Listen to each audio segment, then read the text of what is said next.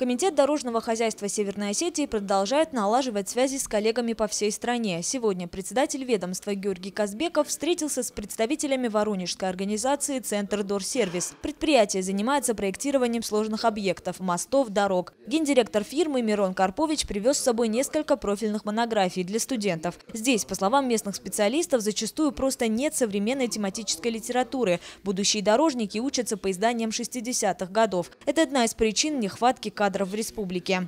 Все кадры, они предпенсионного возраста, новых молодых специалистов не хватает. Программа э, Дорожного фонда, э, она очень интересная и э, дальше будет развиваться, объем будет увеличиваться. Не хватает специалистов, мы вот этим вопросом сейчас как раз таки занимаемся. Считаю, что сотрудничество и с вузом, и с такими проектными институтами дадут возможность качественно и своевременно осваивать деньги дорожного фонда.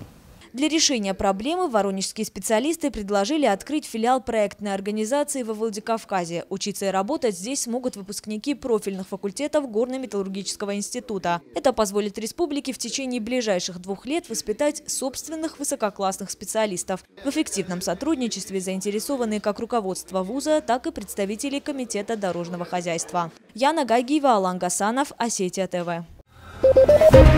Thank you.